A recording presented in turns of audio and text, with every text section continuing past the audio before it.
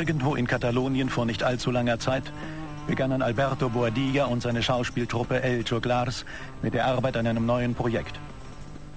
Er soll die Person des Buenaventura Durruti und seiner Genossen der Föderation der Anarchisten Iberiens in den Jahren vor dem Spanischen Bürgerkrieg wieder aufleben lassen.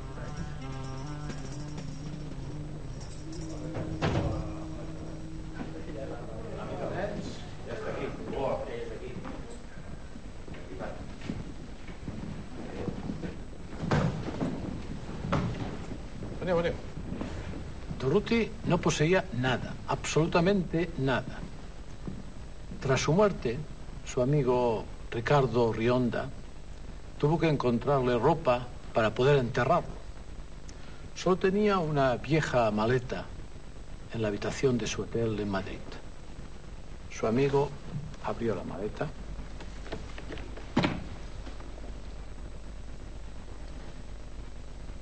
Unas gafas,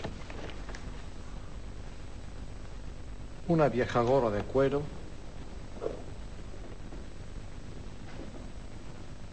una camiseta,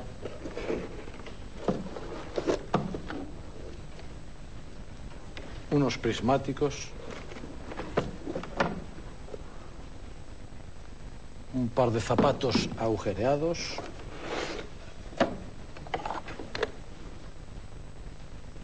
y dos pistolas. Aquest era tot l'inventari. I us vull dir això perquè aquest home no posseïa res. I no posseïa res senzillament perquè ho havia donat absolutament tot.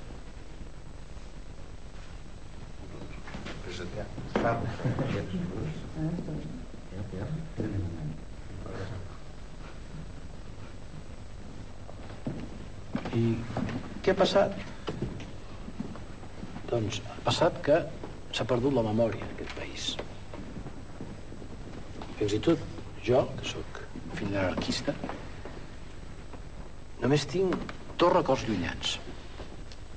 L'un és un cartell florejat que posava Francisco Escaso i que jo vaig trobar un dia a les golfes de casa que vaig penjar a la paret de l'habitació i que la meva mare me'l va arrencar violentment. Vaig pensar que passava alguna cosa.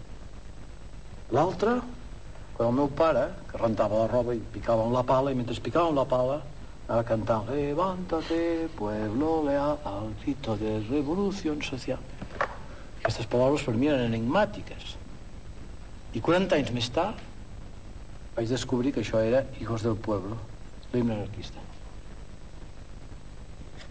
Doncs aquesta memòria perduda és el que tractarem de treballar, perquè a Espanya han desaparegut els cossos dels anarquistes, ha desaparegut la seva veu, els seus gestos, la seva personalitat, la seva força, ha desaparegut tot.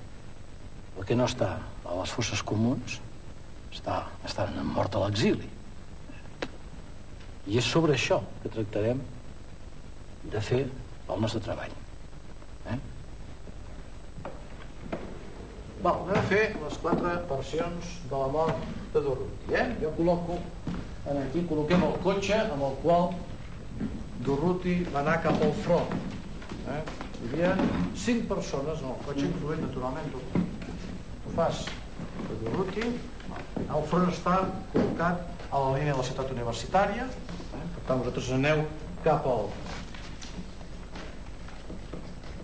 Durruti i els seus acompanyants surten del cotxe, hi ha l'hospital clínic que està a uns 300 metres de distància i que alteren els feixistes. Durruti inspecciona el front i sembla ser que una bala des de l'hospital clínic fareix Durruti. S'emporten a Durruti cap a l'hospital situat a l'hotel Ritz de Madrid. Segona versió. Se'n van cap al front, surten ells cap a, cap a fora i hi ha la possibilitat que els comunistes, molt poc interessats naturalment en l'hegemonia anarquista, doncs d'oblidar que Lenin, perdó, Lenin, Stalin, quina, quina barbaritat he dit jo, Stalin, faci una sèrie d'atemptats que es produiran posteriorment, eh? per tant, els comunistes disparen sobre el fareix. Se l'emporten cap a l'hospital.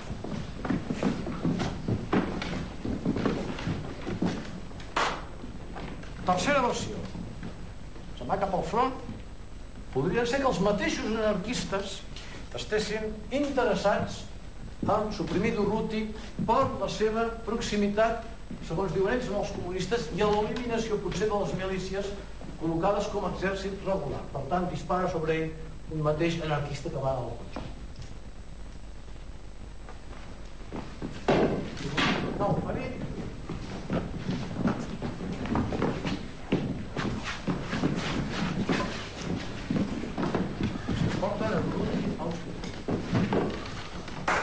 Quarta i última versió.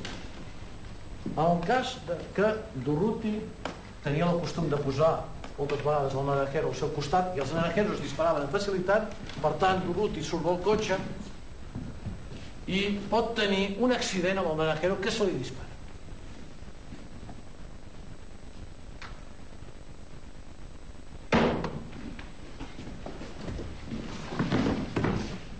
S'emporta a Durruti a l'Hospital de Madrid, a l'Hospital dels Reis, on Durruti morirà unes quantes hores després. Què queda avui de Durruti? Nom, unes imatges, uns eslògans... No queda res. Fins i tot, el seu cos ha desaparegut. La seva tomba està buida.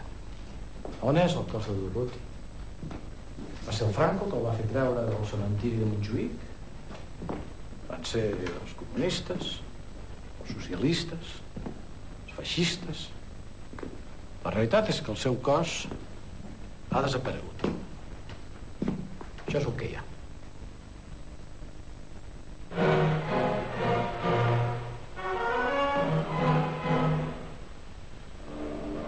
Madrid in Gefahr. Behalte diesen historischen Augenblick in Erinnerung.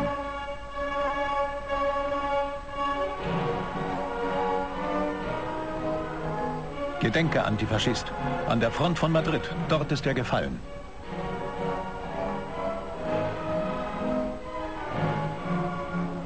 Ein Guerillero? Ein Stratege? Nein, ein Sohn des Volkes. Ein Mann, ein Idealist. Eine Persönlichkeit. Das war er. War er ein Führer? Ein Boss? Nein. Er war ein militanter Gewerkschafter und Antifaschist. Immer in vorderster Front. Liebte er Katalonien? Liebte er Spanien? Er liebte die Freiheit.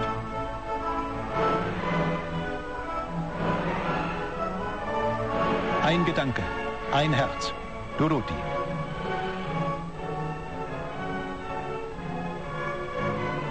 Ein Symbol, ein Held. Durruti.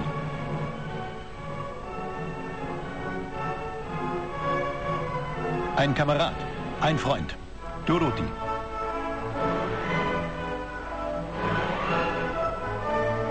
Ein Geächteter, ein Rebell. Durruti.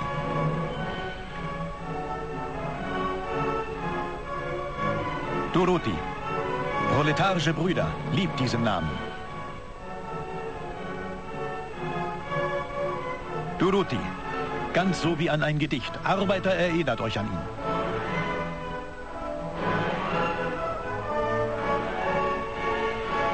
Kämpfer, Front von Aragon, Milizionäre, Hundertschaften.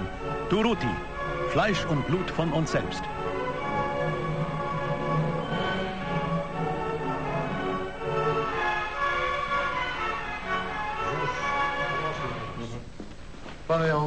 Eh? Del pueblo. Sí, mira, un genio, una. Sí, però aviam, què, què es tracta d'interpretar? El- L'autèntic Durruti, o el personatge o la llegenda, o la màscara? No sé, des de l'endemà de la seva mort, doncs l'autèntic Durruti desapareix i dona pas, doncs això, al mite, a la mitologia. Sí, pero a mí esa imagen no me transmite nada. La encuentro falsa. Bueno, quizás eh, le falta la auténtica dimensión que nunca pudo ser fotografiada. Es quizás la que nosotros podemos intentar representar, no sé, la las dudas de Durruti, las vacilaciones, las contradicciones. Sí, pero es que Durruti es el auténtico héroe revolucionario. Era un hombre de acero, un hombre fuerte, intachable. No podemos ir en contra de la fuerza del mito.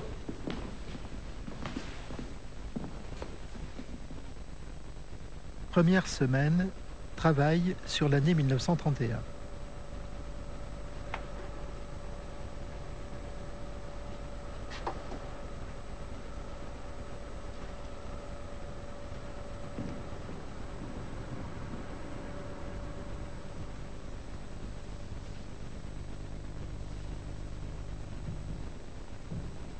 Estamos en abril de 1931, la República acaba de ser proclamada y las elecciones han sido ganadas por izquierda republicana. Los presos y exiliados vuelven a Barcelona y entre ellos los tres inseparables, Ascaso, Urruti y García Oliver. La CNT se ha convertido en la gran organización anarcosindicalista con más de 400.000 afiliados en todo el territorio.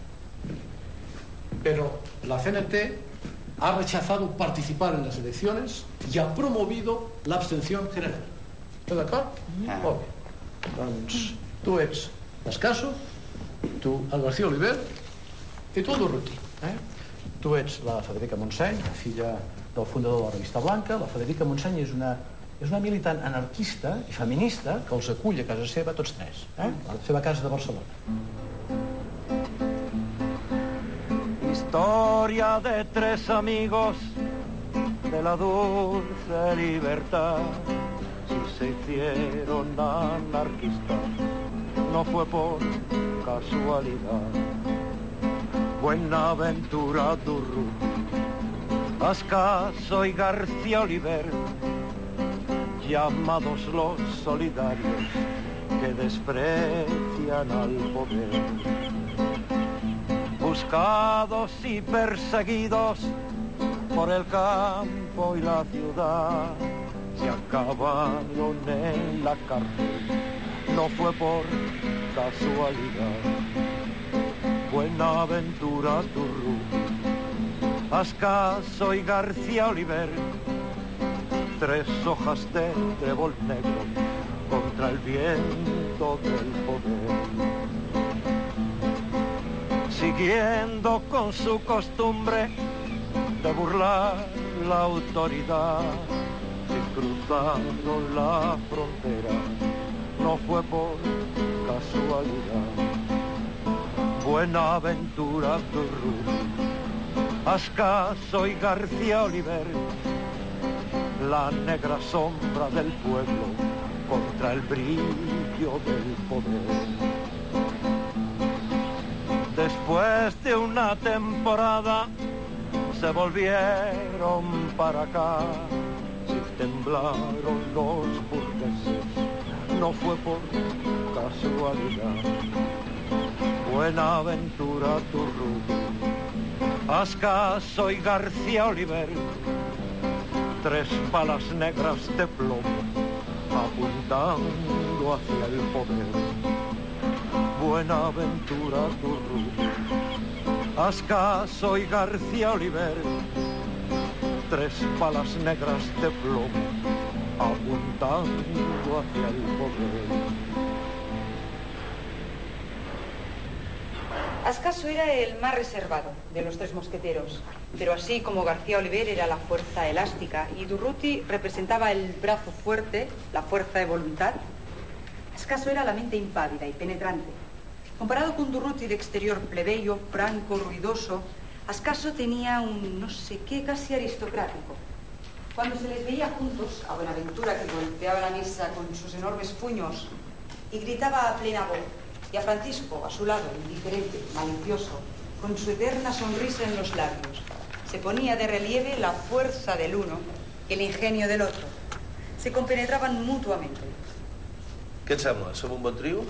Sí, no està malament, no. Però tornarem, tornarem a repetir. Eh, millor. Us identifiqueu amb la descripció que us ha fet la Federica Montseny? Sí, però escolta, és necessari que ens assemblem a el que se sap dels personatges o podem... Ah, espera, espera, espera, espera un moment, eh?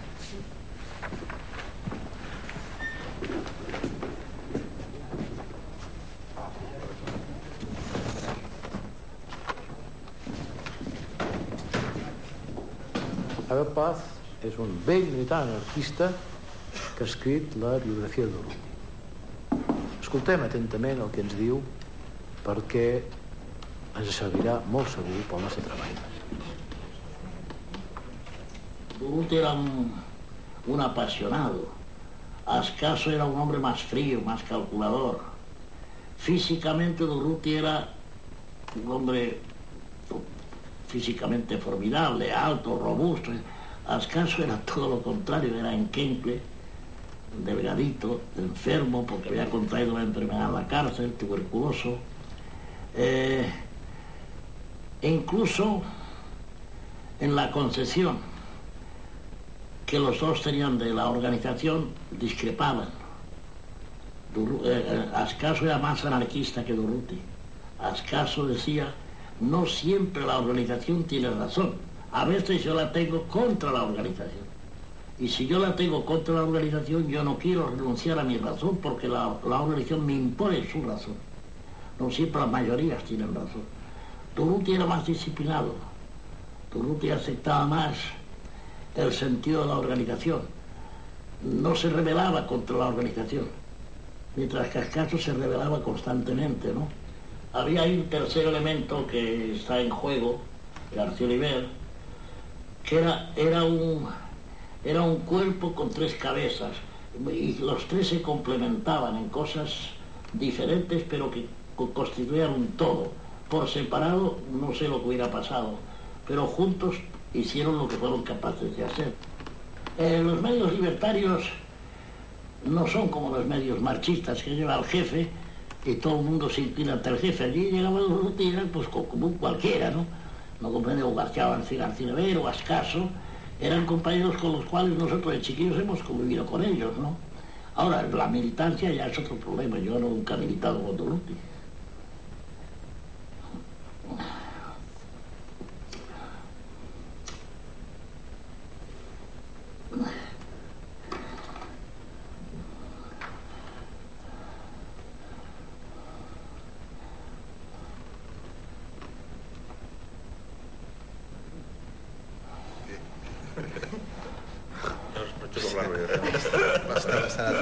Durruti era un mal orador, era un orador de masas. No era un artista de la palabra, era la subversión en sus frases. Pero como una llamada a la revuelta siempre. No, había elegancia, no comprendes. No, hablaba a martillazos, frases muy cortas, y eso a la gente les gustaba. Les gustaba más que el... Había otros oradores como García Oliver. García Oliver era un retórico de la oratoria, hablaba muy bien, sus, sus discursos eran impecables, pero calentaba menos a la masa. Era demasiado retórico. Y la clase, la clase, la gente que había allí, lo que quería era oír eso, ¿te comprendes? De- estos, estos, estos burgueses que nos están chupando la sangre. Y pum, pum, y cuando, cuando me insultas tus hijos de puta. Eso, es- eso les gustaba a la gente. El actor que interpreta a Durruti está jodido. Está jodido. Pero tiene que ser un actor nuevo, un actor que aparece en pantalla como primer trabajo, que no se ha conocido, que no se ha identificado con otros papeles, eso en primer lugar. Y en segundo lugar, mejor lo que puede hacer el actor que interpreta a Durruti es suicidarse. Porque ya normalmente ya no puede. Tiene que hacer algo ya superior a eso. Porque si hace otras cosas inferior, ya él mismo se rebaja. Rebaja su nivel. Te quiero decir, comprendes que cualquier actor que quiera realmente representar a Durruti, pues tiene que estudiar al personaje, bien estudiado, tiene que leer mucho, tiene que ver incluso hay pocas documentales de Durruti, pero algo lo que hay de documentales de la manera en que él anda, la manera en que responde a la gente, etcétera, etcétera, para más o menos que no sea una cosa, comprendes, que haga reír, ¿no? Un Durruti en Guiñol, francamente, es, es, muy expuesto, a mi punto de vista. Oh.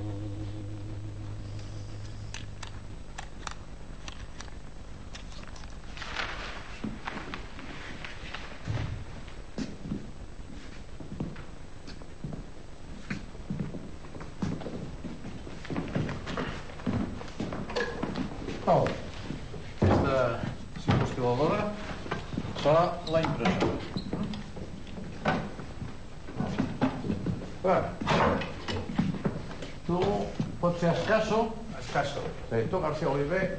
No, tu Jordi. Jo, García Oliver. Oh, sí. I tu d'on?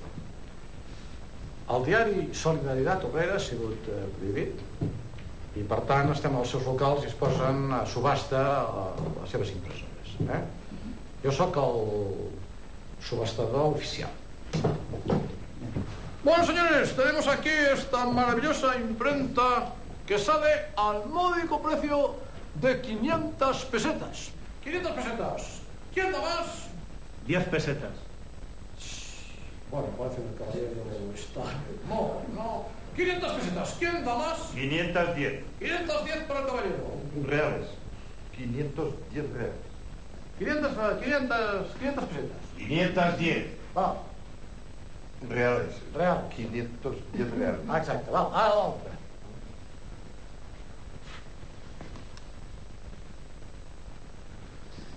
Hola. Hola, hola, hola, hola, hola, hola, va, venga, buenos días, eh? Dic buenos Jo, días? no, jo diré Ah, buenos tu em diràs jo buenos diré buenos días. Eh? Val?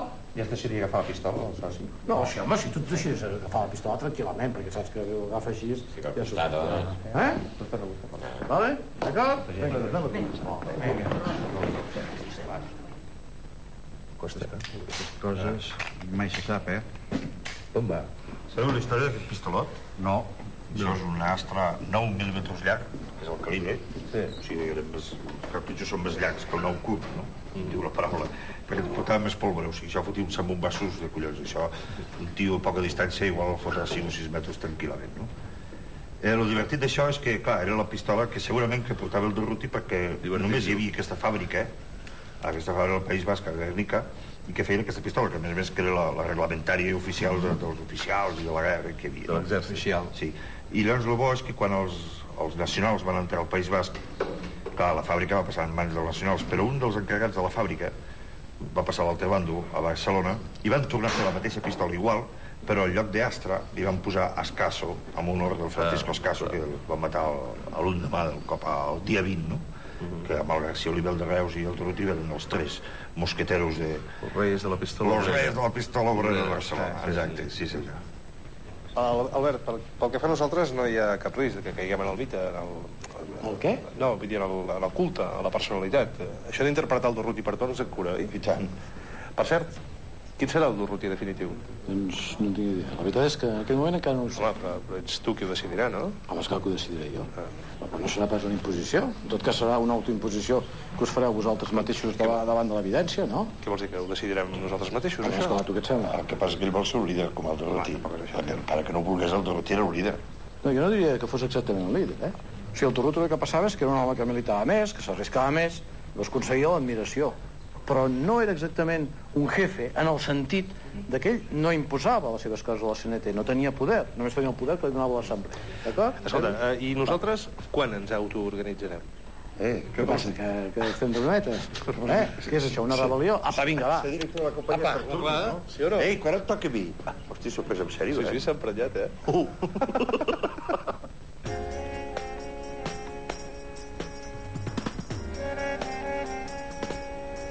Per una banda, els anarquistes donen gran importància a la persona, és a dir, a la personalitat, al compromís individual, a l'estima que cada militant desperta en els altres i que li dona la força per dirigir-se. Crec que això no ens pot deixar indiferents, perquè també atany als actors. Nosaltres veiem les coses d'una manera semblant. Ens comprometem personalment i comprometem el nostre cos. Per altra banda, els anarquistes tenien un refús obsessiu del culte a la personalitat, el reconeixement del líder. En tot cas, Durruti no volia ser-ho. Ho repeteix constantment ho rebutja amb totes les forces. No obstant, els seus companys, els milicians, la massa de militants anarquistes l'han escollit íntimament com un dels líders. És això un exemple de contradicció?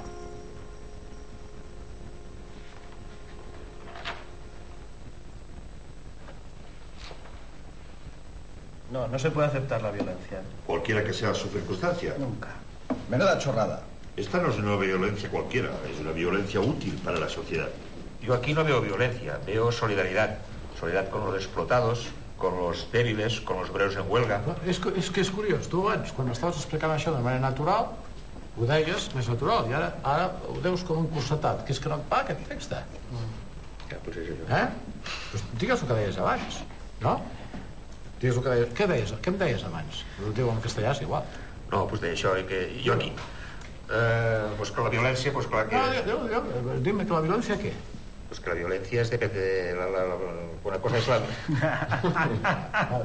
No, conya, no? Ja, ja, ja, ja, ja prou, prou difícil és això, que ara m'he d'anar fotent conya, no? Va, comença. No, no, pues que la violencia pues eh, depende de para qué se utiliza tiene un sentido u otro y en este sentido pues claro es una cuestión de solidaridad por lo tanto es una violencia necesaria aunque sea violencia pero que es necesaria es, pues, es una ah, cuestión- vale, pues apunta, pues apunta't, pues apunta't això, apunta't aquest text de de un llapit... eh, Venga. Este tipo de violencia tiene un sentido, la lucha en conjunto contra un enemigo más poderoso. Entiendo este tipo de violencia. Tu, tu l'entiendes? Trobo una mica bèstia, però bueno, sí, o sigui, entenc que hi hagi violència per, per, per no, per, fer... per què, llavors per què dius un text que no... Que, que, que, tu per què dices un texto que no entiendes?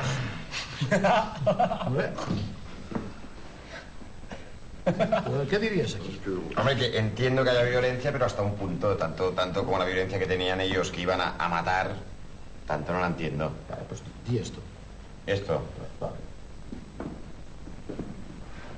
¿Qué tomáis? Oye, ¿sabes que los obreros de la DAM están en huelga? Sí. ¿Y qué? ¿Y qué? Pues que esto significa que no se sirve cerveza DAM a los clientes. Pues aquí todo el mundo me la pide. De esta, de la DAM, dirás que no la sirves. Estás loco. Todos tus compañeros han puesto un cartel anunciando que no se sirve más cerveza DAM. Los huelguistas tienen que discutir sus problemas con su jefe. Yo en esto no pinto nada. Vamos a ver. ¿Tú estás de un lado o del otro? Mira, cada cual que se las arregla como puede. Así funciona el mundo, oye. Y yo, como todo hijo de vecino, tengo que ganarme la vida como pueda.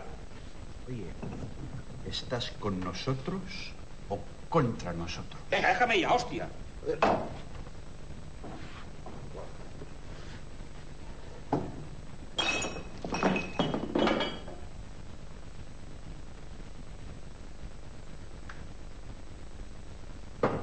Vale.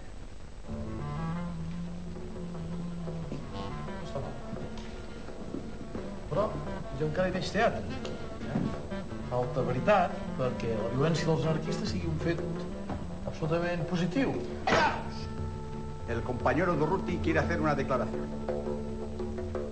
Camaradas, nos cuesta entender hoy esta violencia, porque no solo las ideas anarquistas han desaparecido desde hace tiempo, sino que también ha desaparecido la idea de un proletariado en lucha por cambiar el mundo.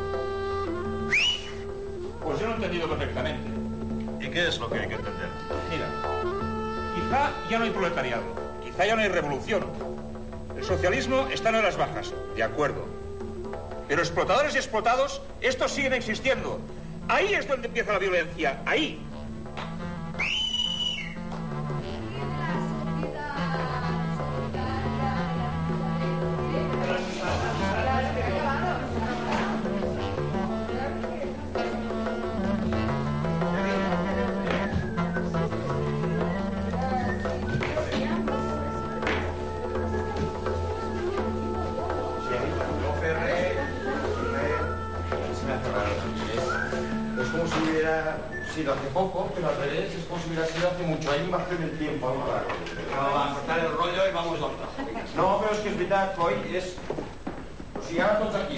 Teatre, però no hi ha esperit de lluita perquè després todos a poner la cara bonita per un espot publicitari o qualsevol cosa. Sí, però sobretot, no? Sobretot alguna cosa de menjar. Però ara hi ha llibertats, no? O que no podem votar? No. Associar-nos? Jo no vull I això que fem és una forma de resistència. Hombre, resistència. ¿Pero qué quieres cambiar? Tú subiéndote a los escenarios a decir ¡Viva la revolución! ¡Viva la revolución! Bueno, sea tan feliz, ¿eh? Ya lo sabemos todos que la revolución no se hace por decreto. Hala, hasta luego, ¿eh? Diciendo estas cosas a un público, a los espectadores, pues igual les caga algo. ¿no? Es como encender una chispa o abrir una brecha, yo qué sé. No, Encender una chispa. Pues, pues mira, ¿por qué no? Allí detrás, pero detrás de la cortina roja. Ok, vamos a hacer la revolución. Vamos a hacer la revolución. Espera, espera, espera. No te de rebajar esa gruesa. Espera. Me voy. Zweite Woche. 1931, Fortsetzung. ¿Cuándo os casasteis? Ruth y yo no nos casamos. Los anarquistas no van al registro civil. ¿Y dónde os conocisteis? Nos conocimos en París, en 1927. Él acababa de salir de la cárcel. Y esa misma noche yo fui a cenar a casa de unos amigos. Él estaba allí. Nos vimos y nos enamoramos locamente el uno del otro. Y todavía dura. Conmigo siempre ha sido muy cordial, incluso me tomaba en serio. Los anarquistas nunca se han comportado a la ligera con las mujeres. No han sido falderos, ni mucho menos. Hasta a veces demasiado puritanos. Solo han tenido una idea en la mente. La revolución, la revolución... Es cierto. Lo conocí, ya lo sabes, donde trabajabas tú como taquillera en el cine. Acomodadora. Acomodadora.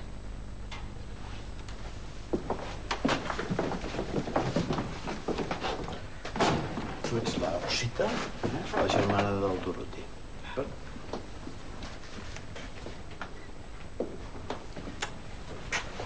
He peleado con mi hermano porque considero que no estáis bien instalados. No sé por qué no nos ha pedido dinero. Es cierto que no tenemos gran cosa, pero estamos muy bien. Emilien, somos una familia muy unida. Buenaventura sabe que puede contar con nosotros. Siempre le hemos defendido. Incluso cuando se decía que era un atracador y que era un bandido. ¿Me entiendes? En esa época siempre llevaba la ropa agujereada. Y cuando venía a vernos, mi madre y yo nos pasábamos el tiempo zurciendo. Chère Louisette, cette ville me surprend et comme je ne parle pas bien l'espagnol, j'ai du mal à rencontrer des gens. Alors je suis souvent seule le soir en attendant Bonaventura. Il passe presque toutes ses soirées en réunion, au café bien espagnol. Ici, les femmes n'ont pas la même place qu'en France. Alors je suis souvent seule le soir en attendant Bonaventura. Sûr, les femmes Il passe presque toutes ses soirées en réunion au café Mais la Tranquilidad. plupart des réunions ont lieu entre Ici, les femmes n'ont pas la même place qu'en France, même dans les milieux anarchistes. Bien sûr, les femmes vont au meeting, aux Tu as peut-être entendu parler en France des bagarres du entrent 1er mai. Au café. C'était ma première manifestation à Barcelone. Et je crois que je m'en souviendrai toute ma vie. Nous sommes arrivés sur une place. Les policiers étaient armés et nous menaçaient. Ascasso a voulu parlementer avec leur chef. Les a policiers étaient armés et nous menaçaient. Ascasso a voulu parlementer avec leur revolver. chef, qui a commencé à crier en brandissant son Alors ça a revolver. commencé à tirer dans tous les coins. Alors ça a commencé à tirer dans tous les a coins. saisi la foule et je suis tombée. Un mouvement de panique a J'ai saisi eu la très foule, peur. je suis tombée. Peur pour lui. J'avais très peur. Peur de perdre mon bébé. Peur pour lui. Je ne veux pas que cet enfant grandisse sans Peur père. Et je demande à bébé. Bonaventura tous les jours de veiller sur lui, Je ne veux pas que sur sa enfant vie.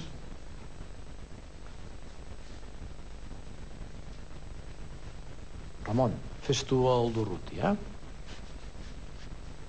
Sombrero? Soy Miguel Maura, ministro del Interior del Gobierno de la República, y mi deber es anunciar a la CNT y a la FAI que puesto que no aceptan las leyes que regulan el trabajo, que ignoran los comités paritarios patrones obreros y sobre todo que ignoran a la autoridad gubernativa, sepan que no existirá para ellos ni ley de reunión, ni asociación, ni ninguna otra que les ampare. que cumplan con las leyes vigentes y tendrán entonces derecho a vivir como ciudadanos normales.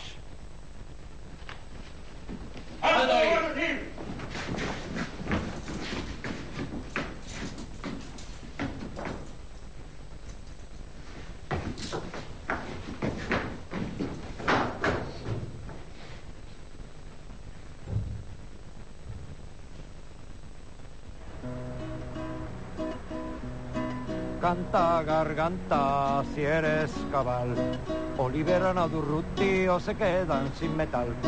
Canta garganta si eres cabal, o liberan a Durruti o se quedan sin metal.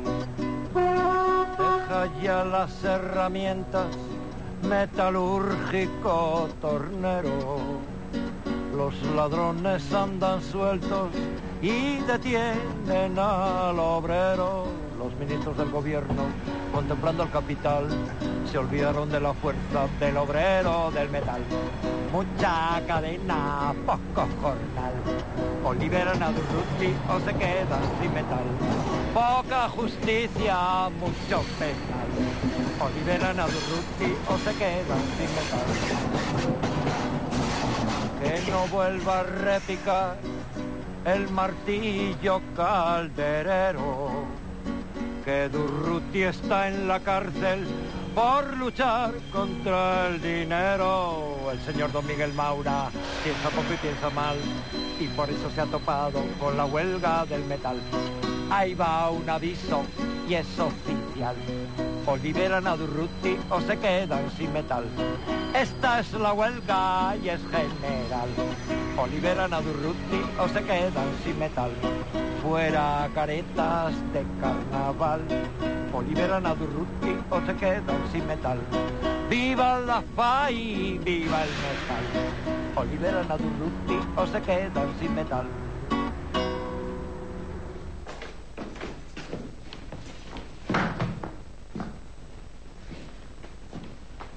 Querida Rosita, me han liberado. El hecho es que nadie me ha molestado. Llevo una vida rutinaria. De día voy al trabajo y por la noche al sindicato.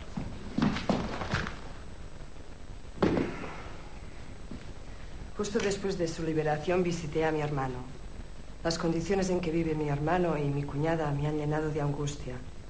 Desde su instalación hasta el presente, la casa sigue huérfana de mobiliario. Un par de sillas, una mesa y una cama sin colchón. Sobre el somier una manta, donde duerme Mimi, mi cuñada, embarazada de siete meses. Mira, Rosita, no te preocupes. Emiliana está sana. Tiene un buen embarazo. Ya verás tú qué criatura más cojonuda vamos a tener. Mi hermano siempre fue un incurable optimista. Primera aproximació dramàtica. Tothom vol interpretar Dorothy i ningú pot identificar-s'hi. Malgrat el coneixement del seu ofici,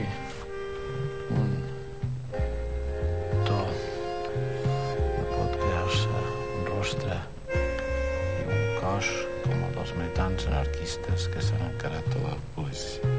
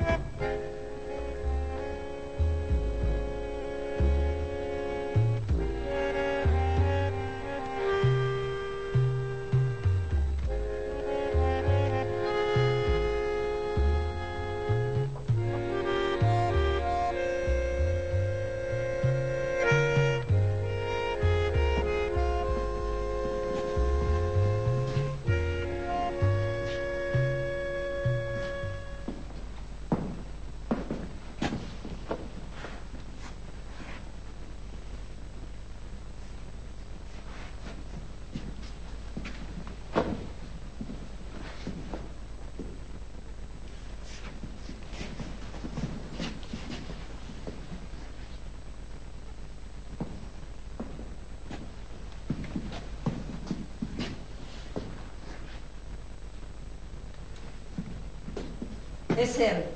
¿Estás segura? Sí. ¡Eh! ¡Tú no te muevas! Sí, sí, lo reconozco. Es él el anarquista.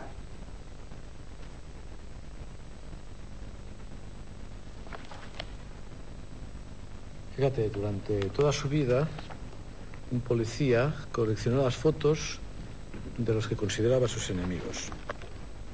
Sustrajo estas fotos de los archivos policiales y las fue pegando en estos álbumes.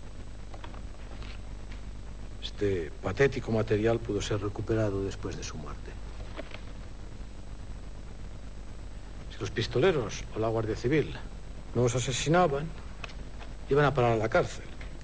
Tanto Durruti como los demás crecieron y se formaron en las cárceles.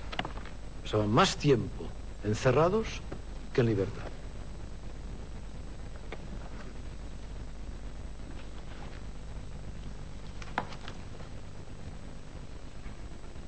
Es evidente que estos rostros no son los nuestros. Nos pareceremos nunca a ellos. Pero eso no es lo importante. Lo importante, estas caras nos miran. Estos rostros, los rostros de estos muertos nos observan. Son nuestros espectadores. Trabajamos para ellos. Oye, ¿qué, qué te pasa? Oye, ¿qué, qué tienes? ¿Qué te pasa? No, no, ya está, ya está, ya se me ha ¿Te duele algo? Dime. ¿Te has mareado? Se me ha revuelto la tripa al ver estas fotos. Es como si me diera miedo ver entre ellas alguna conocida. ¿Hay alguien en tu familia, quizás? Mi abuelo, ¿El anarquista? no sé.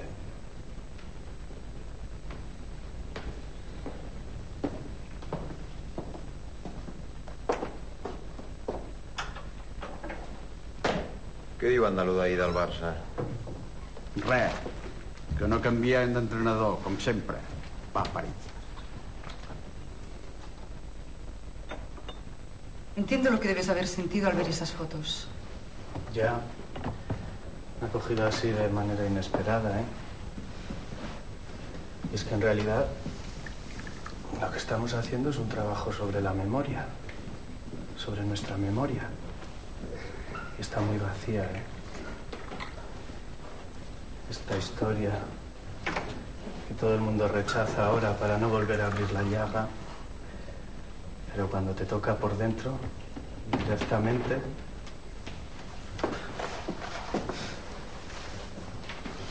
En casa eran franquistas y estaban muy seguros de su derecho, de su verdad. Llevaban orejeras para no ver el mundo que les rodeaba. Por eso me alejé de ellos. Rompí con mi familia porque ya estaba harta. Las manchas de sangre en las manos no se quitan con agua y jabón. Y el silencio por los crímenes fascistas son parte de nuestra historia también. Somos nosotros quienes hemos contribuido a poner la venda sobre la herida con tanta transición democrática y con tanto no querer hablar de nada. Nos pensábamos que el pasado no nos daría alcance, ¿eh?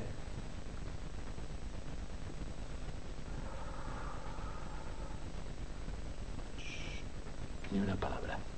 50 años de silencio. Silencio de muerte. Zweite Woche, Fortsetzung. 1932. En las regiones mineras de Cataluña la vida es espantosa. Los propietarios de las minas de potasio tratan a los mineros como esclavos. No tienen ningún derecho, ni siquiera el de leer la prensa obrera. Les despiden por cualquier motivo insignificante. La Guardia Civil está a las órdenes de los patrones y reprime violentamente toda tentativa de resistencia. La población está saturada y los mineros dispuestos a cualquier cosa.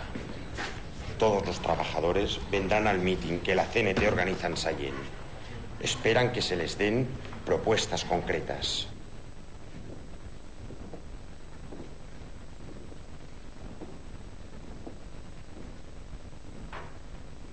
Decimos aquello que los obreros ya saben. Ningún gobierno, con o sin socialistas, podrá resolver el problema social. Un sistema que se rige en la propiedad privada y en la autoridad exige esclavos. El único camino para la emancipación de la clase obrera es el de la expropiación y la disolución del Estado. Vosotros, pues, obreros que me escucháis, debéis tomar en mano vuestro destino. Sois vosotros los que debéis decidir. O vivir como esclavos modernos o morir como hombres libres. Los mineros de Figos se preparan ya para la lucha final. Solo tenemos un lema. La imposición del comunismo libertario. ¡Viva! Camaradas, la bandera rojinegra ondea sobre el ayuntamiento.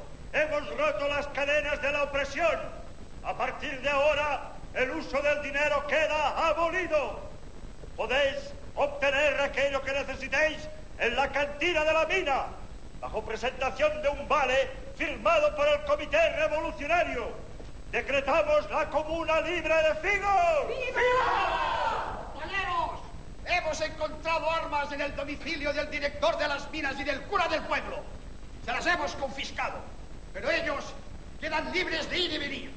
A partir de mañana organizaremos unas elecciones por sufragio universal para elegir el Consejo de la nueva Comuna Libre. El Comité Revolucionario ha proclamado la revolución social en toda España. ¡Viva! No va a sufrir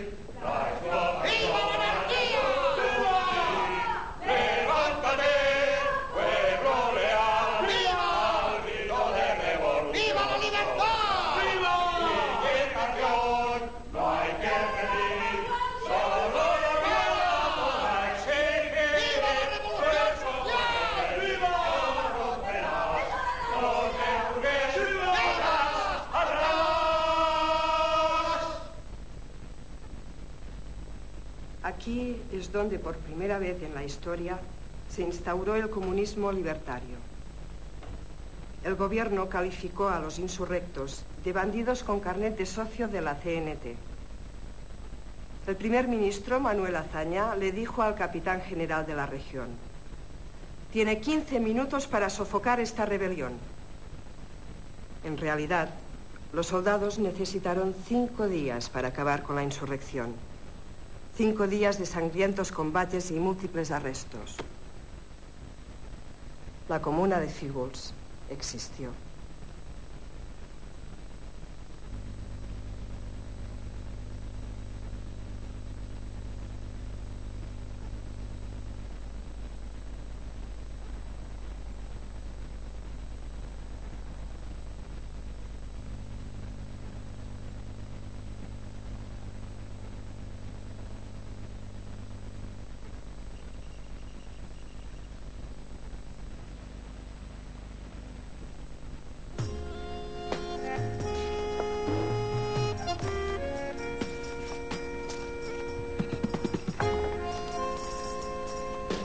Barcelona, las celdas de la comisaría central se llenaron de sospechosos, miembros de sindicatos y comités, delegados de talleres o fábricas, maestros de escuela, periodistas. El 21 de enero del 32 por la mañana, los hermanos Ascaso y Durruti fueron arrestados, encerrados y hacinados en la bodega de Buenos Aires con otros 110 prisioneros. Aquí. On està? Aquí sí. Una carta de Emiliano, Unió Anarquista Francesa. En casa es la desesperación. Esta mañana a las 4 Buenos Aires ha salido del puerto de Barcelona, probablemente en dirección a la Guinea. No nos han autorizado a subir a bordo para despedirnos, Despedirnos de de nuestros nuestros compañeros. compañeros. Solamente algunos chiquillos, conducidos por marineros, han podido despedirse de sus padres. Nuestra pequeña Colette, de dos meses y medio, fue conducida a bordo y Durruti ha podido besarla. Bien, está bien, está bien. Nada que decir, ¿eh? Venga, Francisco Ascaso, fragmento. Començo aquí, no? Sí, comença aquí. ¿Qué importa que partamos si sabemos que continuamos aquí, en el pensamiento y en la acción de nosotros, hermanos explotados? Además, no es a nosotros a quienes se quiere desterrar, sino a nuestras ideas. Y nosotros podemos marchar, pero las ideas quedan. Y serán ellas quienes nos harán volver. Y son ellas que nos dan fuerzas para vivir. Està bé, està bé, està bé. Ah, sí. Per vosaltres, cap problema, està bé. 10 punts. Yo, zero, porque yo ya no me aclaro. No, la verdad es que me siento, me siento completamente bloqueado, ¿no? Hay determinadas escenas que no, no consigo avanzar, ¿no? No, no. Sobre todo, sobre todo la escena, la escena de deportaciones, escena de Buenos Aires, ¿no? Que un, para mí es un lío, es un lío tremendo. Si, la hiciera en cine no habría problema, ¿no? Pero no sé, no sé cómo poder representar esto en teatro. Bueno, Chicho, yo puedo pasar por alto ciertos acontecimientos, ¿no? Pero este en particular, la verdad es que me fastidia muchísimo, ¿no? Me da la sensación que ignorar el destierro sin juicio de los anarquistas es un poco contribuir a la amnesia general, ¿no? Es evidente que son hechos del pasado y que ya nada puede hacerse por ellos. Pero yo también trabajo en este oficio para tratar de luchar contra el silencio y contra el olvido. ¿no? Bueno, todo esto está muy bien, pero francamente no sé cómo salirme de esta. ¿Te parece? Espera un momento.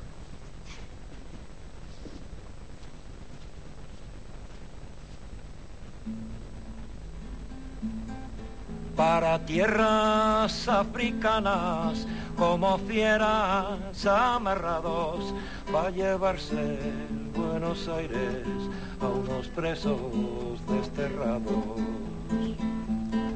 Se revuelve un preso joven cuando suben al navío, va gritando compañera y ella le dice amor mío. A la fuerza me han traído sin sentencia ni proceso, pero el fuego no se apaga, aunque a mí me tengan preso. El destierro no me importa, ni me asustó de la muerte, la anarquía vencerá, aunque yo no vuelva a verte. Ya se marcha el Buenos Aires, ya la vista no lo alcanza, ya va rumbo del estrecho, ya se pierde la esperanza.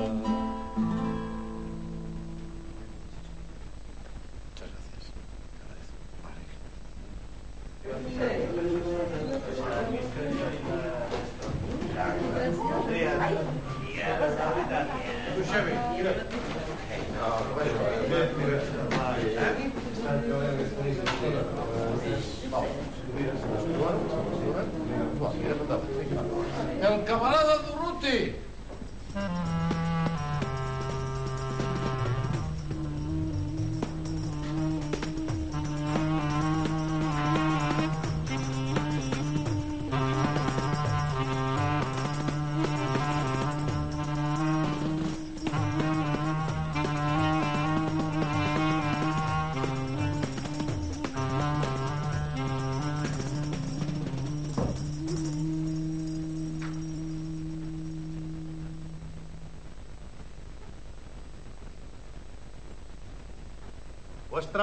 en este meeting y mi presencia en esta tribuna debe mostrar claramente a esos cabrones de la burguesía y del gobierno que la CNT y la FAI son fuerzas que aumentan con la represión y son más solidarias en la adversidad. Los anarquistas no salen domados de las prisiones ni de las deportaciones, sino más firmes en sus propósitos, más seguros en sus objetivos. Para desacreditarnos la burguesía, con sus sicarios de la prensa, ha utilizado el peor de los argumentos. Porque eran tan enormes las acusaciones, tales como vendidos a los monárquicos, ladrones, bandoleros, que los propios trabajadores que los conocen iban a ser nuestros mejores defensores. trabajadores saben perfectamente que los ladrones no se levantan a las seis de la mañana. Los verdaderos ladrones, aquellos que se nutren del robo de nuestro trabajo, son esos hijos de puta de burgueses.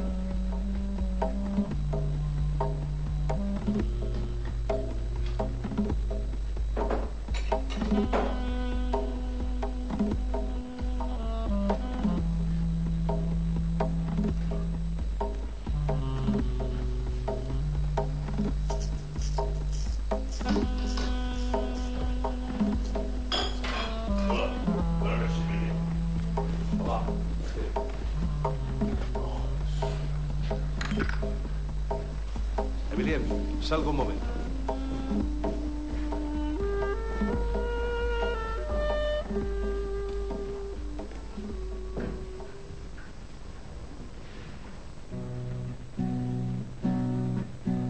Yo soy del campo, amigo mío. Y luego fui peón minero. Cerró la mina y al poco tiempo me hice bandido. Fui del pueblo, amigo mío. Por todas partes busqué trabajo y renegando del mundo entero me hice bandido. Ay.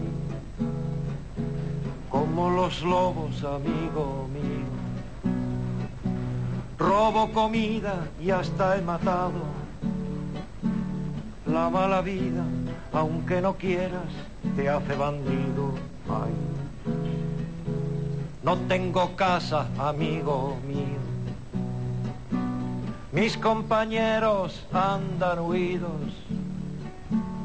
Cerró la mina y en vez de obreros somos bandidos. Ay. Puta vida, ya no tengo ni para tabaco, ¿eh? Mi mujer me ha dicho que del colmado ya no nos quiere fiar. Como si vamos a acabar mendigando. Pues no se trata de mendigar, cojones.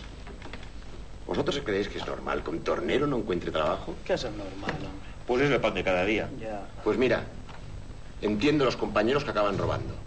Cuando la vida está jodida no tiene que espabilarse. Tampoco sería la primera vez que cogemos el dinero de donde lo hay. Haces bien en ponerme en entredicho, camarada. Es verdad, he atracado bancos. Pero los billones que he cogido los he entregado inmediatamente a las arcas de la organización. Nadie se ha quedado con un céntimo. Ni cuando no teníamos nada para comer. Pero hoy es distinto. ¿Tan distinto? Quien quiera volver al pasado y justificarse con el robar para comer es libre de hacerlo. No le vamos a condenar para ello, pero que lo haga fuera de nuestras filas. Renunciando a su calidad de militante y cargando él mismo con la responsabilidad de su acto, sin comprometer a nuestro movimiento. Hay que acabar con el aislamiento de aquellos que ya no tienen nada. Los compañeros que han perdido el trabajo tienen que mantener el contacto con el sindicato. Algunos camaradas tienen tendencia a actuar por cuenta propia, pero solo actuando unidos podemos encontrar verdaderas soluciones. Sí, pero hay familias muy desgraciadas. Sí, hay que buscar la manera de ayudar a las familias más pobres, pero lo que está claro es que nuestras armas solo son para combatir, no para robar. ¿Y cómo lo haremos? El sindicato no tiene medios para ayudar a todos los camaradas. Hoy somos un millón de sindicatos. Y un pueblo en lucha por realizar la gran revolución exige otras tácticas.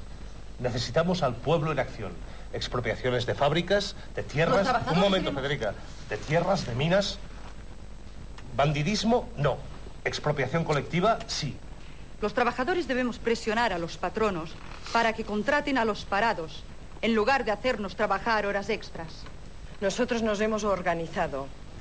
Hombres y mujeres hemos ido a ver a los tenderos para que nos sigan. En cuanto a los alquileres es lo mismo.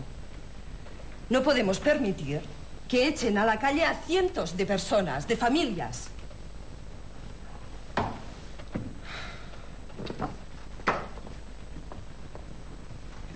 Sí.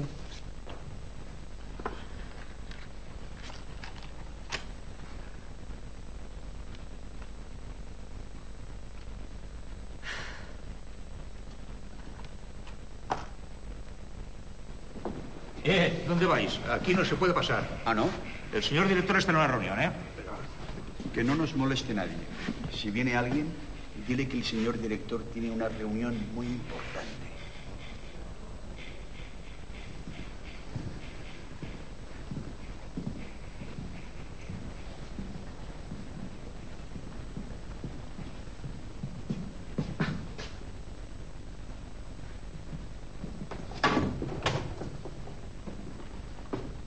¿Qué pasa?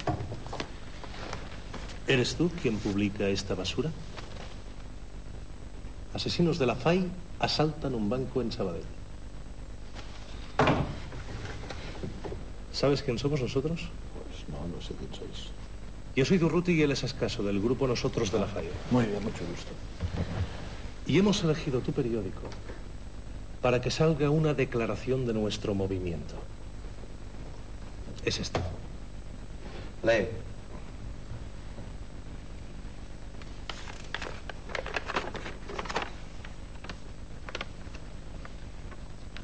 La FAI se propone organizar en España una expropiación colectiva mediante la revolución social. A eso nosotros le llamamos comunismo libertario. Los métodos que nosotros empleamos para ello son la acción de masas y la huelga general revolucionaria. ¿Qué pasa? No. La FAI rechaza las acusaciones de robo y bandidismo porque ello se halla en franca oposición con la práctica revolucionaria del anarquismo. Todavía no hemos terminado. Cuando en tu crónica de sucesos tengas que dar cuenta de algún robo, atraco o cosa semejante, no se te ocurra mezclar los nombres de la CNT y de la FAI, porque dichas organizaciones nada tienen que ver con actos de este género. ¿Estás seguro? Te prevenimos que no desearíamos tener que resucitar la práctica de la censura roja del Sindicato de Artes Gráficas, que por cierto, espera impacientemente ponerse en acción. Va, ja està bé. No està malament. M'heu fet una certa por, eh? Això està bé. Però esteu segurs que s'asseurien aquí, en el despatx del director de La Vanguardia? Bueno, és una Tenia possibilitat, aquest no? punt d'espontaneïtat, no? Fer les coses així una mica com... Vol dir que amb el bulto de les pistoles no seria suficient? Ja es notaria des de lluny? Home, també. També no, no tens raó amb això. Jo em sembla que eh, això és un gest insòlit, no? És a dir, eh, se'n van a veure el director del diari conservador més important eh? I, i ho fan com un acte de responsabilitat individual, és a dir, un acte de cara a cara, no? Eine Woche später, 1933. El ejército español se prepara en los cuarteles para hacer volver al rey con su séquito de fieles. Compañero, basta ya, la anarquía vencerá. Compañero, basta ya, la anarquía vencerá. Los obispos y los curas nos prometen el infierno y predican que el patrón representa al Padre Eterno. Compañero, basta ya, la anarquía vencerá. Compañero, basta ya, la anarquía vencerá. Los burgueses nos acosan con la Biblia y el bastón, pero no han tenido en cuenta el poder de la razón. Compañero, basta ya, la anarquía vencerá. Compañero, basta ya, la anarquía vencerá. Nuestros principios están basados en Bakunin. Primero, confianza absoluta en la capacidad creadora de la clase obrera. Y segundo, necesidad de la organización revolucionaria. Las más hermosas teorías solo tienen valor cuando son fruto de las experiencias prácticas de la vida y actúan sobre ella en sentido renovador.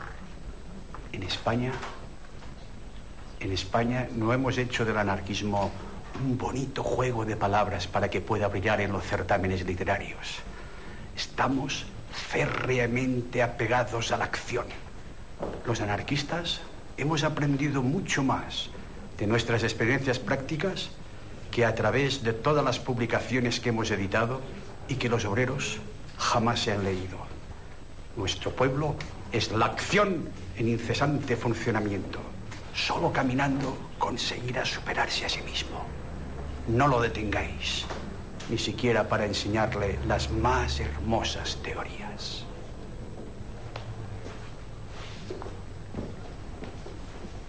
Estamos de acuerdo con el grupo nosotros. Hay que responder a la violencia gubernamental con la violencia revolucionaria. Decidiremos participar en la creación del Comité Nacional de Defensa, cuya misión es la de coordinar a nivel nacional todos los grupos de defensa locales. Basta. No queremos más eslóganes. Pasemos a los actos. Vamos a fracasar como en Figus. No, Figo nos ha demostrado que aquello que parece imposible, aquello que parece imposible a veces no lo es.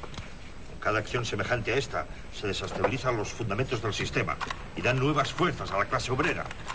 Yo no veo nada, no veo mal. Pues aquí no hay sitio para el pesimismo.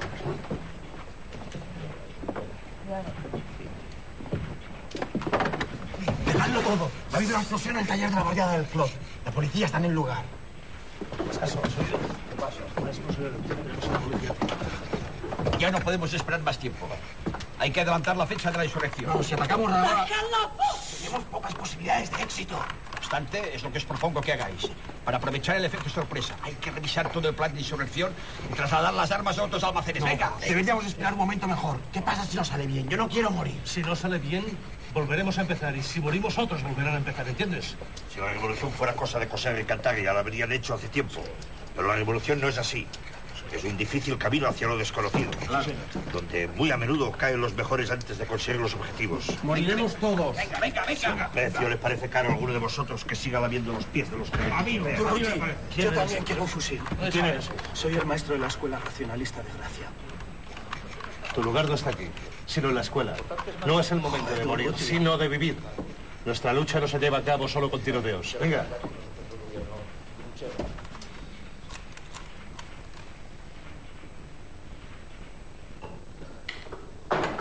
Albert, ¿cómo terminó toda esta movida? Pues mira, a las 12 la insurrección fue aplastada. Efecto sorpresa. No entró en juego. Había tiros por todas partes. Pero la Guardia Civil fue advertida y consiguió que los insurrectos no se acercaran a los cuarteles. A pesar de todas formas del fracaso en Barcelona, la insurrección estuvo en todas partes. En Andalucía, concretamente en Casas Viejas, los revolucionarios proclamaron el comunismo libertario durante varias horas. Después el pueblo fue arrasado, los campesinos rociados con gasolina y quemados vivos. Hijos de puta.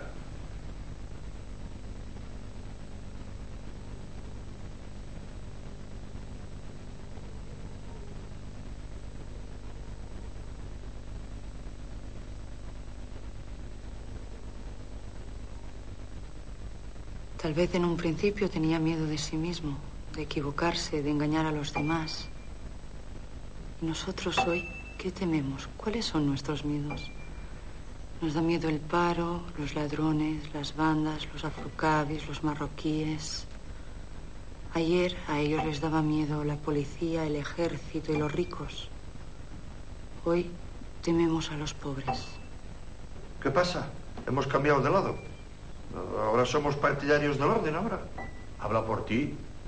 Pero si tiene razón. Yo solo sé que existe un miedo. Siempre el mismo. Se disfraza, cambia de rostro, de nombre. Pero es uno solo. Es el miedo a la muerte. Contra ese miedo no podemos hacer nada. No nos podemos deshacer de él.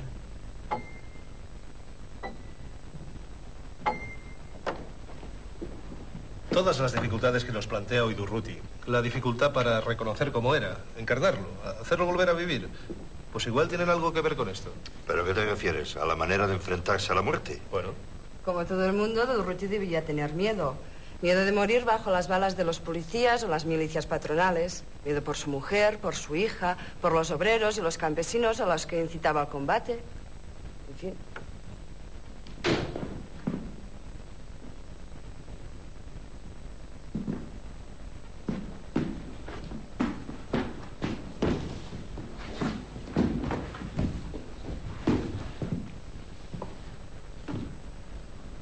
Ya.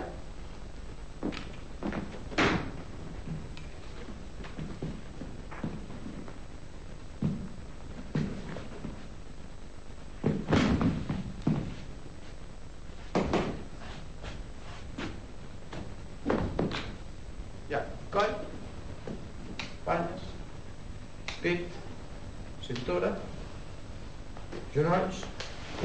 Què tal?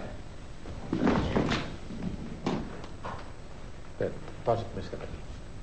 Així. Ah, Espera, a veure, així és... Espera.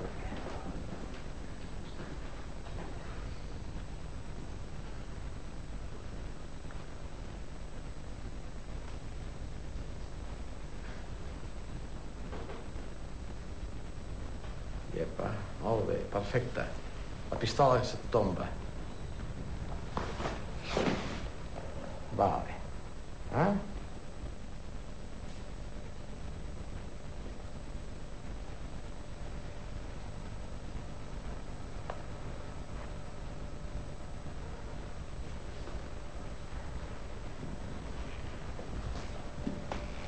que el mundo va a cambiar, nos dicen, que cuando votemos nos escucharán. Si en cambio no votáis, nos dicen, los del otro lado nos aplastarán y así se quedarán, nos dicen, con las manos libres para hacer su plan. Malditas elecciones, decimos, si la voz rebelde se domesticó. Malditas elecciones, decimos, quieren el gobierno y nosotros no. Menudos demagogos con sus perros de presa, jugando como siempre al palo y la promesa.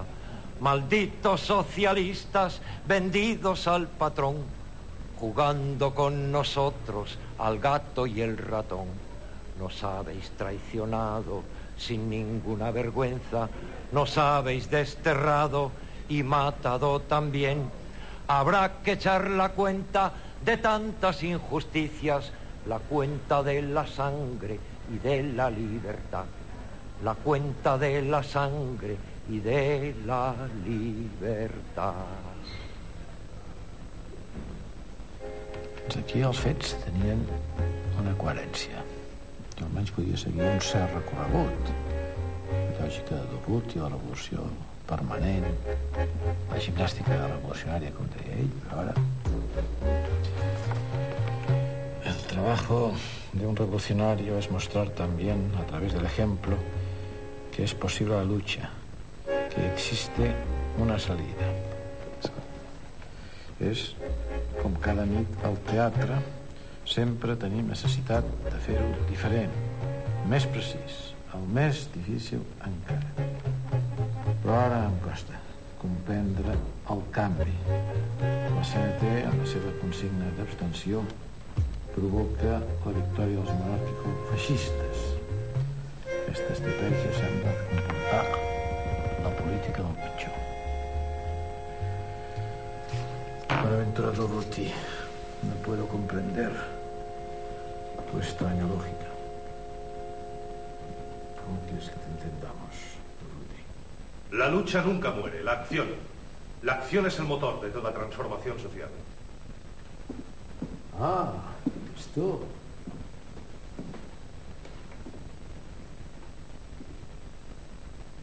Los socialistas y los comunistas dicen que abstenernos en las elecciones es favorecer al fascismo. Mirad, mirad en Alemania.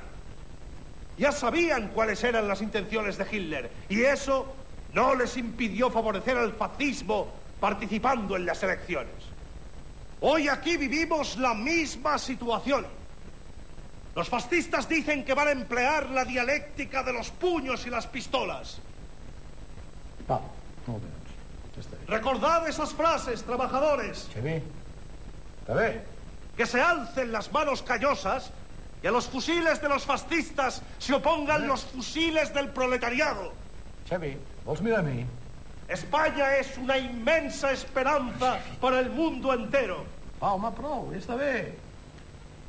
Si levantamos una barricada contra el fascismo, daremos un vuelco decisivo a la historia europea y mundial.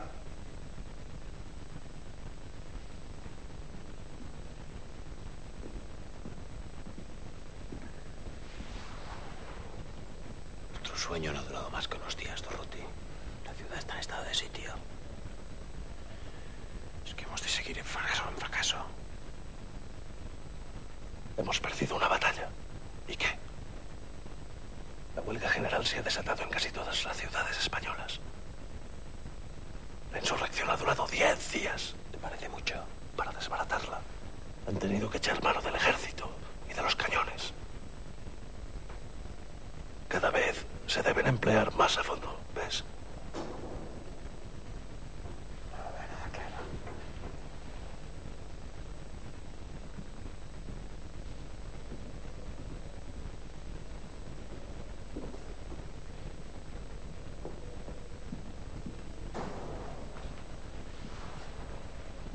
¿Qué coño pasa con el levantamiento general que nos anunciaste? Todavía no se ha producido. Sí. Porque los obreros socialistas siguieron las consignas de sus jefes y se mantuvieron al margen de la insurrección. Pero es natural.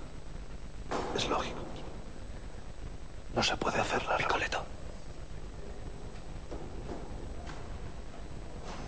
Ya está, ya no huele a mierda. No se puede hacer la revolución con los socialistas. Te recuerdo que Gil Robles, el capitoste de la derecha, le dijo a los socialistas, nunca haréis la revolución, porque la teméis tanto como nosotros.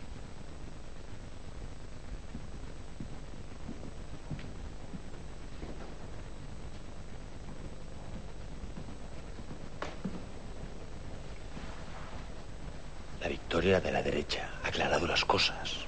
Los dirigentes socialistas por fin se han dado cuenta que la colaboración de clases es un error. ¿Tú crees que se han dado cuenta? Sí. No está tan claro.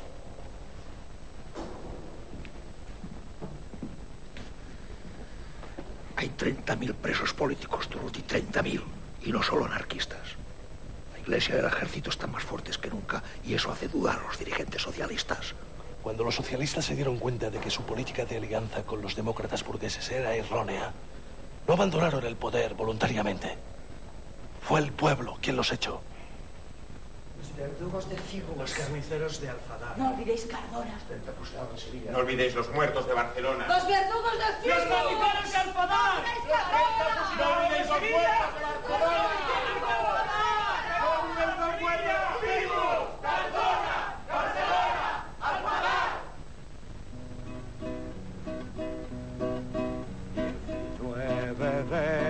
9 de noviembre noviembre. Malos tiempos me recuerdas que ganaron las derechas al partirse las izquierdas.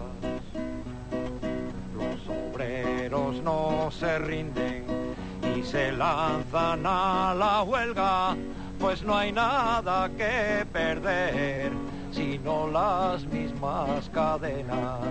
En Gijón y en Barcelona y en Granada y en Valencia y en otros muchos lugares la huelga surge y progresa.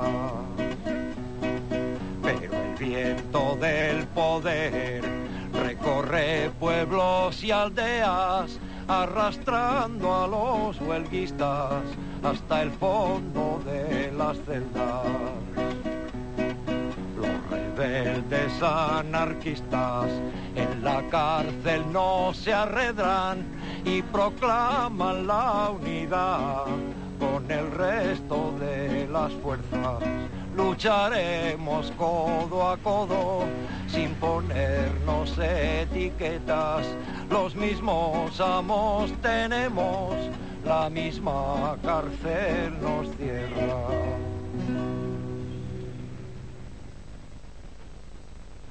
Dorothy. Dorothy. ¿Qué coño pasa? No, es que está pensando que los socialistas no tienen opción. Te lo aseguro. Tienen que aliarse con nosotros. Y esa alianza tiene que hacerse sobre las bases revolucionarias de la CNT, siempre ha estado a la vanguardia. Eso es lo que está pasando en Madrid y en Asturias. La alianza para ser revolucionaria tiene que ser genuinamente obrera. La alianza con los dirigentes nacionales no nos interesa. Aquí no caben los partidos. La alianza se construye en la base, en las empresas, en los barrios, abajo arriba, y por los propios trabajadores. Mira, aquí en la cárcel podríamos ponerlo en práctica. ¿Cómo? Dorothy, ¿sabes qué hora es? Perdona, pero es que no te entiendo. Aquí en la cárcel no podemos hacer nada. Aquí precisamente podemos aprender lo que es la solidaridad de clase. Aquí nos aíslan, nos insultan, nos golpean. Vivimos todos bajo el mismo régimen represivo. Nos necesitamos los unos a los otros. Aquí podemos experimentar los principios colectivistas que conducen al comunismo libertario. Pongámoslo todo en común. Todo. Si no tenemos nada. Coño, no sé. El poco dinero que nos consiguen nuestras familias, la comida, la ropa. Ya que tenemos tan poco, aprendamos a compartirlo todo. Eh, robot. ¿Duermes? No. Pienso.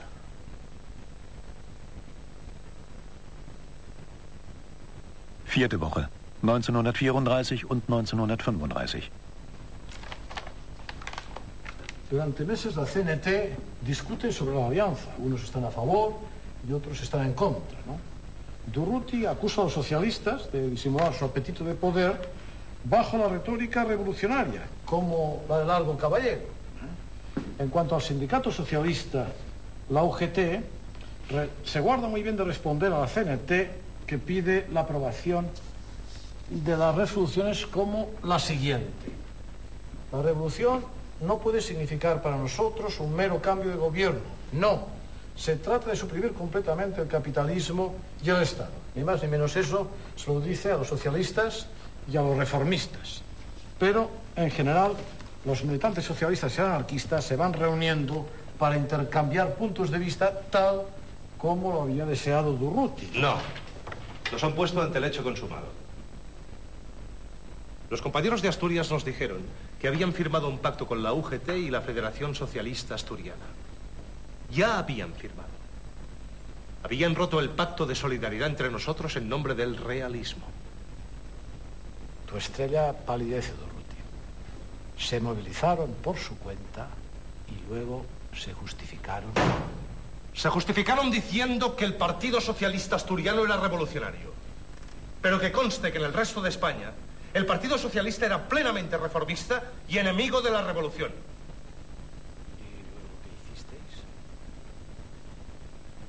Cogimos las armas y luchamos junto a ellos. Par toute la terre, chaque prolétaire a frémi d'un immense espoir. Ceux d'Oviedo d'un splendide élan ont rejeté soudain leur carcan, ont pris le pouvoir. Ceux d'Oviedo à leur cigarette, allumant la mèche de leur grenade de fer blanc. Pendant des jours, ils ont repoussé les mercenaires contre-lancés par les gouvernants. Ceux d'Oviedo, tremblante de haine, lâchée inhumaine, la réaction les écrasa. Toute une armée à coups de canon fit d'Oviedo un tombeau sans nom. Partout on trembla pour Oviedo.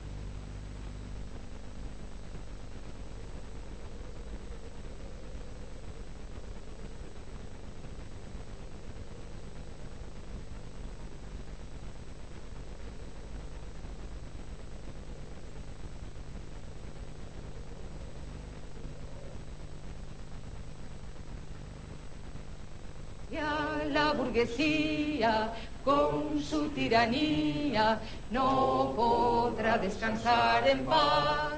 Ayer España tembló de horror, pero mañana el trabajador habrá de vengar a los de Oviedo y a la burguesía con su tiranía no podrá descansar en paz.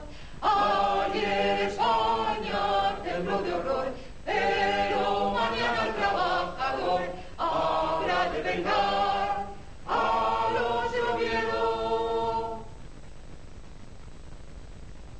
Einige Tage später, 1936.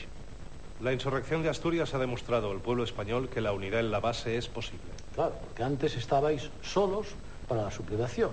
Y desde estos acontecimientos, para ti la revolución no es una quimera, es algo ya concreto, algo posible. Sí. Ya no se trata solo de una idea. Claro, porque, según tú dices, estabais codo a codo con los militantes socialistas, a pesar de que sus dirigentes querían controlar el movimiento. Entonces, tuvisteis la prueba tácita de que la unión era la única estrategia posible. ¿No es así? Más o menos así. Y a partir de aquí, formasteis el Frente Popular. ¿Cómo se llama tu hija, Urruti? Colette. El Frente Popular se formó contra la amenaza del fascismo. Tú dudabas, todos dudabais. Porque, de hecho, el enfrentamiento parecía inevitable a pesar del resultado de las urnas. Claro, propugnar el abstencionismo significaba darle alas a la dictadura y también darle una apariencia de normalidad y de legalidad al fascismo. Por el contrario, propugnar el voto de los partidos de izquierdas significaba ir en contra de vuestros propios principios. ¿No me escuchas, verdad, Urruti? Claro que te escucho. Optamos por no dar consignas. Recuerdo que terminé un discurso diciendo, nos encontramos ante la revolución o la guerra civil. Aquel trabajador que vote y se siente a comer tranquilamente en la cocina de su casa será un contrarrevolucionario. Y el que no vote y se siente tranquilamente en la cocina de su casa no valdrá mucho más. aunque en Madrid y en París ha triunfado el Frente Obrero, el obrero sigue alerta y con los pies en el suelo. El pueblo vuelve a salir en defensa de los presos y revienta las prisiones sin la venia del gobierno. También la reforma agraria la emprende a su modo el pueblo en encinar de la parra de esa de cenicientos los terrenos del señor los toman los lugareños sembrando en totos de caza sin permiso del gobierno. La reforma campesina se propaga como el fuego, desbordándose hacia el sur por los montes de Toledo. En España el viejo arado va sembrando suelo nuevo. Los hambrientos tienen pan a despecho del gobierno. Los hambrientos tienen pan a despecho del gobierno.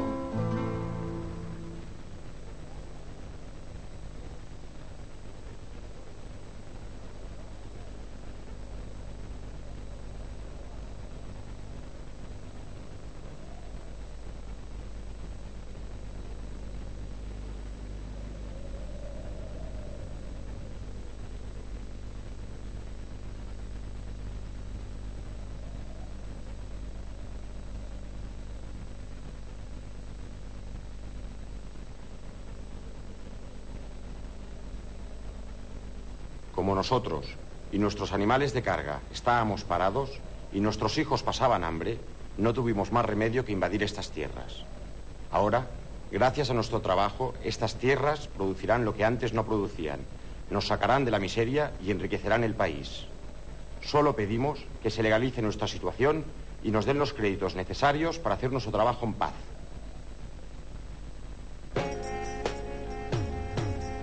El reste ja el. Feixistes, guerra civil. Es cridava no passarà. Finalment varen passar. Els anarquistes, abans que tothom, van comprendre que els feixistes utilitzarien la violència contra el front popular, esclar. Amb l'acció de les masses s'aguditza l'esperit i apareix la lucidesa. Abel Paz diu García Oliver, Escaso i Durruti eren com un sol cos amb tres caps. Grup Nosotros. Escaso va trobar el nom. Va morir el primer dia de la batalla de Barcelona. Als 35 anys. El cel devia ser tan blau com avui.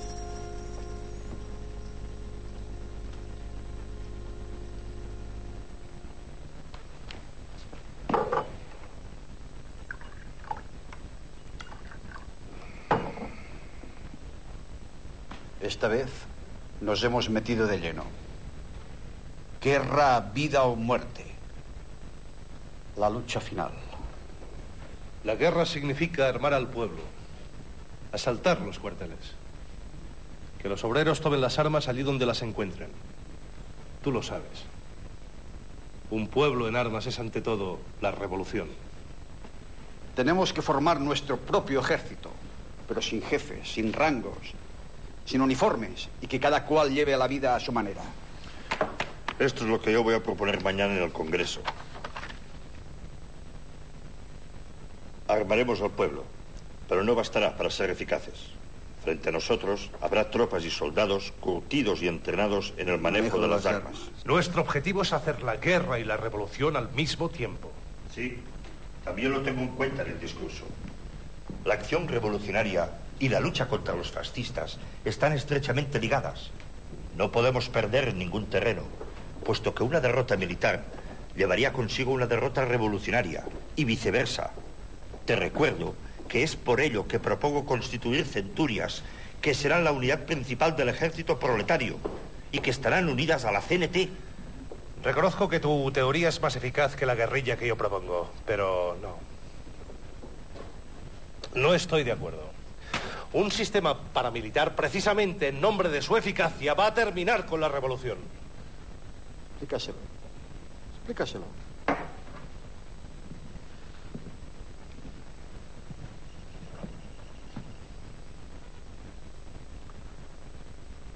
Cuanto más eficaz sea un ejército proletario desde el punto de vista militar, más ejercerá su autoridad y terminará imponiendo su poder sobre la revolución. Y si no, mirad los bolcheviques. En nombre de la eficacia han asesinado la revolución rusa, cosa que seguramente no querían. Dejemos que nuestra revolución fluya por sus propios cauces, incluso independientemente de la autoridad de la CNT y de la FAI.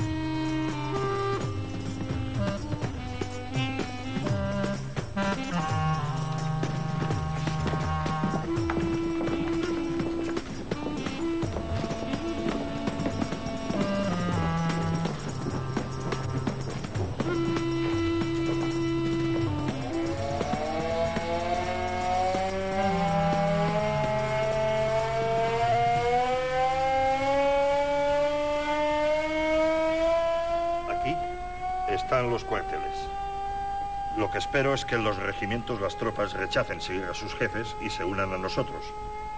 En cuanto se sepa la noticia del golpe, unos grupos armados deben bloquearlos e impedir cualquier movimiento. Nos dividiremos por barrios. De acuerdo. Y hoy mi grupo tomaremos el cuartel de Atarazana.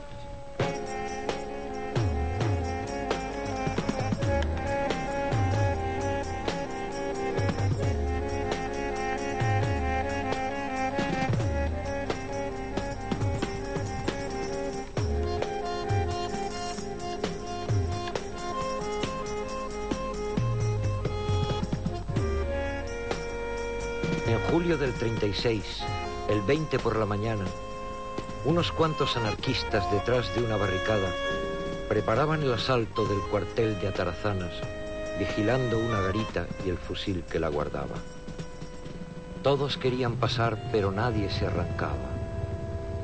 Siguiendo a su corazón, Ascaso cruza la rambla, le apuntan desde el cuartel, de pronto sale una bala. Ascaso yace en el suelo con la frente atravesada. Cinco minutos después, la batalla está ganada y en la torre del cuartel izan ya bandera blanca.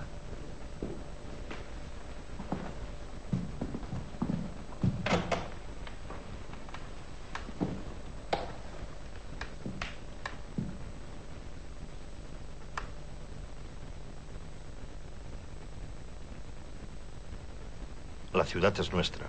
Necesitamos a todos los hombres y mujeres capaces de llevar un fusil. Ahora se trata de evitar muertes inútiles. Ninguna muerte es inútil.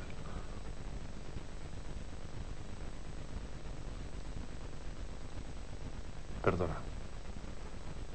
La muerte de Ascaso sí que es una muerte inútil. Ascaso ha desafiado la muerte y se ha lanzado entre las balas. Solo, hacia adelante, sin que nadie le cubriera.